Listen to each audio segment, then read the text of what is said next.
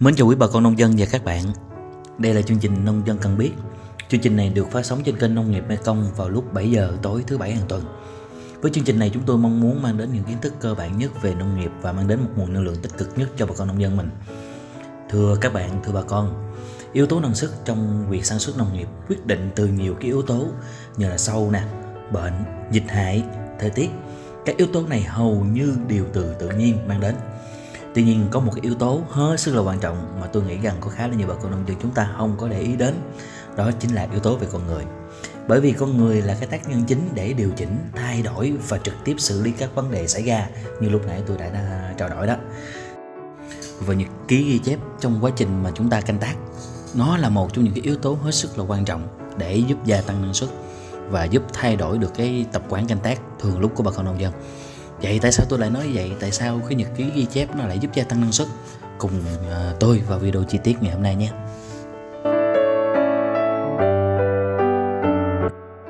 Trước tiên thì chúng ta cùng nhau tìm hiểu nhật ký ghi chép cho cây trồng là gì. À, thật sự thì nhật ký ghi chép cho cây trồng đó chính là chúng ta ghi chép là những thông tin trong quá trình trồng chăm sóc cũng như là là quản lý cái cây trồng của chúng ta. À, nói đơn giản hơn nghĩa là có những cái vấn đề gì mà nó phát sinh đến cái việc mà canh tác của cái miếng vườn mình á, thì chúng ta sẽ ờ, ghi lại một cách chi tiết nhất có thể. Ví dụ như là cắt cành ví dụ như là xịt thuốc kẻ phân, hoặc là đôi khi cây ra đọt nó cũng vậy.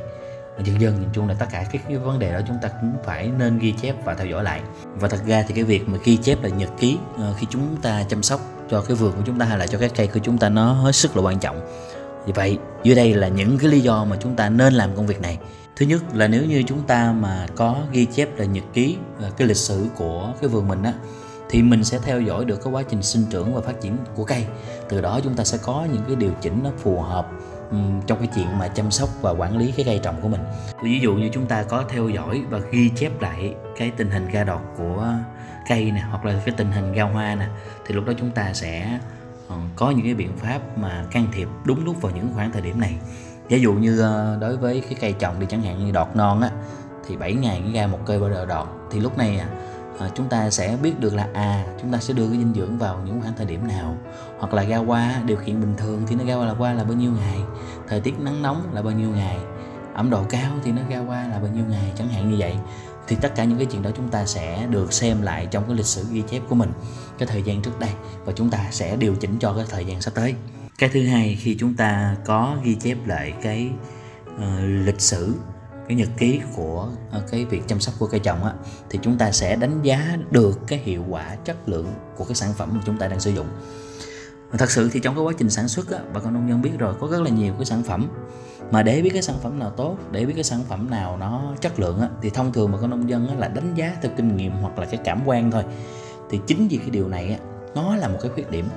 Một là nó chưa chính xác thứ hai nữa nhà sản xuất người ta biết được cái đặc tính nó như của bà con nông dân là như vậy thì người ta đưa vô những cái phụ gia đưa vô những cái công thức những cái hoạt chất á, để đánh lừa cái cảm quan của bà con nông dân. Mà thật sự cái sản phẩm nó không tốt. Trong cái quá trình sản xuất chúng ta dùng rất là nhiều cái sản phẩm. Vậy thì bây giờ chúng ta lựa chọn cái sản phẩm nào? Chỉ có cách là chúng ta ghi chép lại nhật ký để chúng ta theo dõi thôi. Và đến khi mà chúng ta cần so sánh các sản phẩm với nhau thì chúng ta nhìn lại trên cái nhật ký mình ghi chép đó để mình đánh giá từng cái sản phẩm cụ thể. Lúc đó mình sẽ có một cái lựa chọn phù hợp nhất cho cái miếng vườn mình đang chăm sóc. Tôi lấy ví dụ như là ở giai đoạn làm đọt đi bà con nông dân á, muốn lựa chọn một cái sản phẩm mới thay thế cho cái sản phẩm từ trước tới giờ mình dùng á thì mình sẽ đánh giá bằng những cái tiêu chí nào?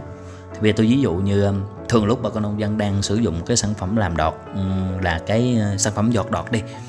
Rồi ờ, có thời gian cái có một nhân viên lại chào cái sản phẩm 33 11 11 là cũng là một cái sản phẩm vọt đọt luôn. Tuy nhiên mình phải đánh giá làm sao đây? Bây giờ ờ, để đánh giá thì mình phải thử cái sản phẩm 33 11 11 và so sánh lại với cái sản phẩm vọt đọt trước đây mình dùng. Thì trong cái sổ ghi chép, chúng ta có ghi chép cái sản phẩm vọt đọt. Ví dụ như là cái sản phẩm bột đọt mình dùng cái liều là 50C nè, cho bình 25 lít. Mình phun xong 3 ngày, thì lúc đó trong sổ nhật ký ghi nhận cái kết quả là thấy đọt nó nhú ra đọt nó mập hơn, màu xanh hơi nhạt, nó giữ màu trong vòng 3 ngày. Và sau khi phun như vậy á, thì có gẹp nó tấn công. Khi mà đọt nó mới vừa ra, mật số là tầm khoảng là 5 con trên một lá. Khi mà phun xong khoảng 5 ngày, thì cái số lá trên cái đọt là ba lá thì bây giờ chúng ta mới thử cái sản phẩm 33 11 11 và chúng ta cũng ghi chép lại nè. Sau khi mà ghi chép nó cho ra kết quả như sau. Liều pha của 33 11 11 á, là 50g cho bình 25 lít. Phun 2 ngày thì đã thấy hiện tượng nhú đọt rồi. Màu xanh thì màu xanh đậm và nó giữ được cái màu xanh nó tầm khoảng 5 ngày. Nó cũng có gẹp tấn công nữa nhưng mà cái mật số của nó lại thấp hơn nó tầm khoảng 4 con trên một lá. Và đến ngày thứ năm tương tự như sản phẩm vọt đọt thì lúc đó cái số lá nó ra là ba lá nhưng mà được được con cái nữa. Thì cái chồi nó có thêm một cái chồi nhỏ nữa đang hình thành và chuẩn bị ra tiếp. Thì từ từ đó chúng ta sẽ có cái sự so sánh giữa hai cái sản phẩm đó. Thì dĩ nhiên nếu như trong trường hợp này tôi cũng sẽ chọn cái, cái sản phẩm 33 11 11 để mà sử dụng cho giai đoạn về sau. Tại sao như vậy? Tại sao chúng ta lại có được cái kết quả này? Cái kết quả này được có là khi chúng ta so sánh với cái sản phẩm trước đó. Mà nếu như trong trường hợp mà chúng ta không ghi chép cụ thể thì chúng ta không có được một cái cơ bản một cái chuẩn để chúng ta so sánh. Điều thứ ba khi chúng ta mà có ghi chép được cái nhật ký trong quá trình sản xuất á nếu như trường hợp mà có xảy ra cái sự cố thì chúng ta có thể đánh giá xác định được cái nguyên nhân cái sự cố đó xảy ra từ đâu. À, tôi ví dụ như à, bà con nông dân phun thuốc sâu mà không chết đi hoặc là phun cái loại thuốc nào nó làm rụng bông chẳng hạn thì chúng ta sẽ xác định được cái nguyên nhân từ đâu từ cái nhật ký ghi chép. Bởi vì sao? Bởi vì những cái năm trước đó chúng ta phun cũng một loại thuốc đó phun cũng cùng với cái liều lượng đó và ở cái giai đoạn đó. Nhưng năm nay chúng ta phun có sự thay đổi một chút. Cái sự thay đổi đó làm sao chúng ta biết được thì chúng ta phải xem là cái nhật ký mình đã ghi chép ở cái mùa vụ trước. Mùa vụ này chúng ta thay đổi những cái thay đổi này có thể nó sẽ là cái nguyên nhân để dẫn đến cái củi go đó chẳng hạn. Hoặc là trường hợp thứ hai ví dụ như uh, chúng ta cắt cành tạo tán mà nó không đúng kỹ thuật. Nó làm dẫn đến một cái chuyện là cái cây của chúng ta nó phát triển cái cơ tược nó không như mong muốn. Thì lúc đó chúng ta có thể xem lại cái nhật ký ở cái giai đoạn vừa rồi chúng ta mới vừa cắt tỉa đó. Nó có khác so với cái những cái giai đoạn trước đó hay không? Bởi vì những giai đoạn trước đó nó đang bình thường rồi. Chỉ có giai đoạn này chúng ta đang cắt tỉa, nó sai kỹ thuật thôi thì đó cũng là một trong những cái mà nhật ký ghi chép nó mang đến cho cái vườn cho bà con nông dân khi chúng ta có theo dõi. Điều quan trọng thứ tư nữa mà nhật ký ghi chép nó mang đến đó chính là chúng ta có thể đánh giá được cái hiệu quả kinh tế. Từ đó chúng ta có những cái điều chỉnh những cái lựa chọn cái phương án canh tác cho nó phù hợp về sau. Tôi lấy một cái ví dụ đơn giản như thế này. Giả dụ như năm 2020 uh, ờ, năng suất chúng ta có được là một tấn bán được 30 triệu và lợi là 20 triệu. Từ đâu có những con số này? Những con số này sẽ được ghi chép cụ thể ở trong cái nhật ký ghi chép. Nhưng mà sang năm 2021 chúng ta chỉ có 800 kg thôi. Nhưng mà chúng ta bán được 25 triệu, nhưng mà được cũng lời là 20 triệu. Vậy thì ờ, từ đó chúng ta sẽ có một sự so sánh và chúng ta sẽ xem lại nguyên cả một cái quy trình chúng ta canh tác của năm 2020 và năm 2021. Tại sao năm 2021 năng suất thấp mà lợi nhuận nó cũng tương tự so với năm 2020 trong khi năm 2020 năng suất nó lại cao?